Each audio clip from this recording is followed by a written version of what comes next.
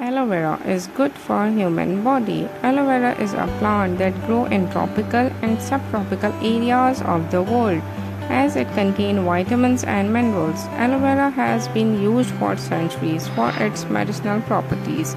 Here are some of the benefits of aloe vera for human body. Skin health. Aloe vera is widely known for its beneficial effects on the skin. It can moisturize the skin, promote healing of wounds, and soothe sunburn. Aloe vera gel can also be used to treat skin conditions such as acne, psoriasis, and eczema. Digestive health. Aloe vera juice has been found to be effective in treating digestive disorders such as constipation, acid reflux, and irritable bowel syndrome.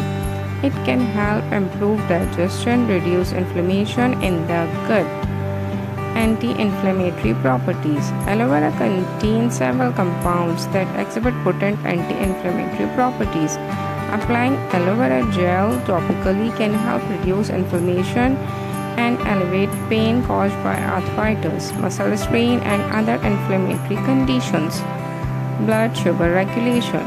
Some studies suggest that aloe vera may help regulate blood sugar level. Certain compound in aloe vera may increase insulin sensitivity and improve glucose metabolism, which can be functional for blood sugar level.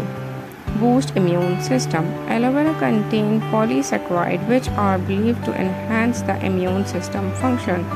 These compounds help stimulate macrophages white blood cells to destroy viruses and harmful bacteria.